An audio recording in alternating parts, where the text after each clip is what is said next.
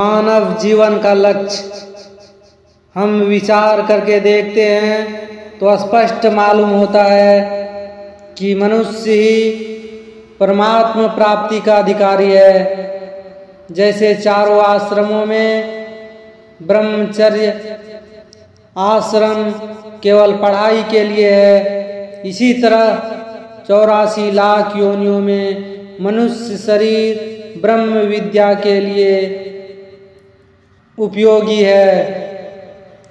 ब्रह्म विद्या की प्राप्ति के लिए ही मनुष्य शरीर है और जगह ऐसा मौका नहीं है, ना योग्यता है, ना कोई अवसर है, क्योंकि अन्य योनियों में ऐसा विवेक नहीं होता। देवताओं में समझने की ताकत है, पर वहाँ भोग बहुत हैं। भोगी आदमी परमात्मा में नहीं लग सकता। यहाँ भी देखो, ज़्यादा धनी व्यक्ति सत्संग में नहीं लगते और जो बहुत गरीब हैं, जिनके पास खाने पीने को नहीं है, वे भी सत्संग में नहीं लगते। उन्हें रोटी, कपड़े की चिंता रहती है। इसी तरह नरकों के जीव बहुत दुखी हैं। बेचारे, उनको तो अवसर ही नहीं मिलता है। देवता लोग भोगी हैं, उनके पास बहुत संपत्ति है। वैभव है, पर वे परमात्मा में नहीं लगते, क्योंकि सुख भोगने में लगे हुए हैं, वही उलझे हुए हैं। अतः एक मनुष्य ऐसा है, जो परमात्मा की प्राप्ति में लग सकता है। उनमें योग्यता है, भगवान ने अधिकार दिया है, इसलिए मनुष्य शरीर की महिमा बहुत ज़्यादा है। देवताओं से भी अधिक है मनुष्य शरीर का महत्ता शरीर तो देवताओं का ही। हमारी अपेक्षा बहुत शुद्ध होता है। हम लोगों का शरीर बड़ा गंदा है, जैसे कोई सुअर मैले से भरा हुआ यदि हमारे पास आ जाता है तो उनको छूने का मन नहीं करता, दुर्गंध आती है। ऐसे ही हम लोगों के शरीर से देवताओं को दुर्गंध आती है। ऐसा दिव्य शरीर है उनका। हमारे शरीर में पृथ्वी तत्व की प्रधानता है। देवताओं के शरीर में तेजस तत्व की प्रधानता है। परंतु परमात्मा की प्राप्ति का अधिकार जितना मनुष्य शरीर वालों को मिला है, इतना उनको नहीं मिला। और नहीं मिलता है। इसलिए मनुष्य शरीर की बहुत महिमा है। उत्तरकांड में श्री काकभूषणी जी से गरुड़ जी प्रश्न करते हैं कि सबसे उत्तम देह कौन सी है? तो कहते हैं, मनुष्य शरीर सबसे उत्तम है क्योंकि नर तन सम नहीं कौनियो देही, जीव चराचर जातत, जाचत, जेही, चर अचर, सब जीव इस मनुष्य शरीर की रचना करते हैं, मांग रखते हैं। ऐसा कहकर आगे कहा, नरक स्वर्ग अपवर्ग निशेनी ज्ञान विराग भक्ति शुभ देनी। मनुष्य दे नरक स्वर्ग और अपवर्ग, मोक्ष ये तीन देने वाली है। इसके सिवाय परमात्मा का ज्ञान इस शरीर में हो सकता है। संसार से वैराग हो सकता है और भगवान की श्रेष्ठ भक्ति इसमें हो सकती है। इस शरीर में ये छह बातें बताई। मनुष्य शरीर एक बड़ा जंग है। यहाँ से चाहे जिस तरह जा सकता है, ऐसी मनुष्य शरीर की महिमा है। इस महिमा को कहते हुए पहले ही नाम लिया, नरक स्वर्ग अपवर्ग निशेनी नरकों में जा सकता है, यह महिमा है कि निंदा मनुष्य शरीर ऐसा है जिसमें नरक मिल सकते हैं तो यह निंदा हुई। इसमें तात्पर्य क्या निकला? ऊंचाई से ऊंचाई और ऊँची से ऊँची और नीची से नीची चीज़ मिल सकती है इस मानव शरीर से। यह इसकी महिमा है, वास्तव में महिमा है, शरीर के सदुपयोग की। इसका उपयोग ठीक तरह से किया जा, जाए तो भगवान की श्रेष्ठ भक्ति मिल जाए, वैराग्य मिल जाए, सब कुछ मिल जाए, ऐसी कोई चीज़ नहीं जो मनुष्य शरीर से ना मिल सके। गीता में आया है, यम लब्धवा चापरम लभाम मन्यते नाधिकम तत्त। जिस लाभ की प्राप्ति होने के बाद कोई लाभ शेष न रहे, मानने में भी नहीं आ सकता है कि इससे बढ़कर कोई लाभ होता है। और जिसमें स्थित होने पर वह बड़े भारी दुख से भी विचलित नहीं किया जा सकता।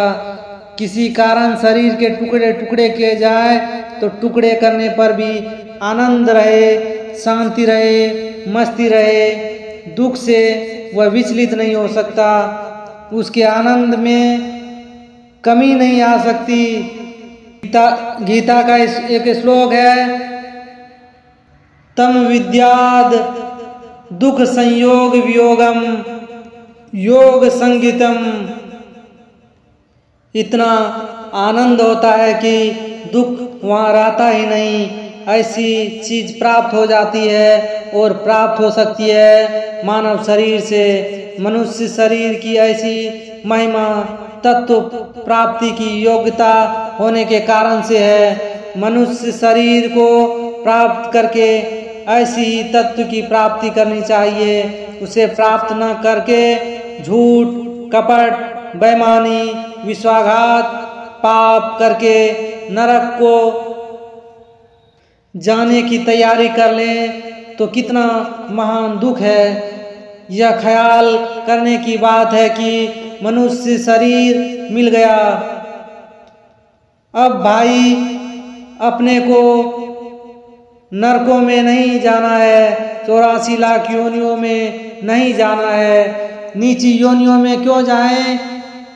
चोरी करने से, हत्या करने से व्यविचार करने से हिंसा करने से, अवश्य भक्षण करने से, निषिद्ध कार्य करने से मनुष्य नरकों में जा सकता है। कितना सुंदर अवसर भगवान ने दिया है कि जिसे देवता भी प्राप्त नहीं कर सकते, ऐसा ऊँचा स्थान प्राप्त किया जा सकता है। इसी जीवन में प्राणों के रहते रहते बड़ा भारी लाभ लिया जा सकता है। बहुत शांति, बड़ी प्रसन्नता, बहुत आनंद इसमें प्राप्त हो जाता है। ऐसी प्राप्ति का अवसर है मनुष्य शरीर में। इसीलिए इसकी महिमा है। इसको प्राप्त करके ही और इसको प्राप्त करके भी जो नीचा काम करते हैं, वे बहुत बड़ी भूल करते हैं। कोई बढ़िया चीज़ मिल जाए तो उसका लाभ लेना चाहिए। जैसे किसी को पारस मिल जाए तो उससे लोहे को छुआने से लोहा सोना बन जाए। अगर ऐसी पारस से कोई बैठा चटनी पीसता है तो वह पारस चटनी पीस के लिए थोड़ी ही है। यह वह पारस चटनी पीसने के लिए थोड़ी ही है। पारस पत्थर से चटनी पीसना ही नहीं है। कोई अपना सिर ही फोड़ ले तो पारस क्या करे? इसी तरह मानव शरीर मिला है। इससे पाप, अन्याय, दुराचार करके नरक और नरकों की प्राप्ति कर लेना अपना सिर फोड़ना है। संसार के भोगों में लगना यह चटनी पीसना है। भोग कहाँ नहीं मिलेंगे? सुअर के साथ दस बारह बच्चे होते हैं। अब एक दो बच्चे पैदा कर लिए तो क्या कर लिया? कौन सा बड़ा काम कर लिया? धन कमा लिया तो कौन सा बड़ा काम कर लिया? सांप के पास बहुत धन होता है। धन के ऊपर सांप रहते हैं। धन को उसके पास भी है। धन तो उसके पास भी है। धन कमाया तो कौन सी बड़ी बात हो गई? ऐसा राम में सुख देखते हैं और कहते हैं कि इसमें सुख भोग लें। बम्बई में मैंने कुत्ते देखे हैं, जिन्हें बड़े आराम से रखा जाता है। बाहर जाते हैं तो मोटर और हवाई जहाज़ में ले जाते हैं। मनुष्यों में भी बहुत कम को ऐसा आराम मिलता है जो कुत्ते को मिलता है। भाग्य में ये है भाग्य में है तो कुत्ते को भी ऐसो आराम मिल जाएगा। कौन सा काम बाकी रह जाएगा जिसके लिए मनुष्य शरीर नष्ट किया जाए? भोगों के भोगने में, संसार का सुख लेने में, धन कमाने में मनुष्य शरीर बर्बाद कर देना कितनी बड़ी भूल की बात है। झूठ, कपट बेमानी करके मनुष्य नरकों की तैयारी कर लेता है। यह महान पतन की बात है। कितना ऊँचा शरीर मिला है मनुष्य को, उस शरीर में आकर ऐसा काम कर ले। अतः सावधान रहना चाहिए कि बड़े से बड़ा काम हमें करना है, बढ़िया से बढ़िया काम हमें करना है। यह काम दूसरी योनि में नहीं हो सकता। एक मनुष्य शरीर में किए हुए पापों का चौरासी लाख योनियों में भोग होता है। सत्य। त्रेता, द्वापर, कली, ये चारों युग बीत जाते हैं। चौरासी लाख योनिया और योनि और नरकों के कुंड भोगते भोगते फिर भी मनुष्य शरीर में किया हुआ? पाप बाकी पड़ जा, पड़ जाता है और पड़ा रह जाता है। बीच में भगवान कृपा करके मनुष्य शरीर देते हैं। संचित पाप और पड़े हुए हैं। भोगने पर भी सारे पाप समाप्त नहीं होते। इतने महान पाप हैं तो इस मनुष्य शरीर में बनते हैं।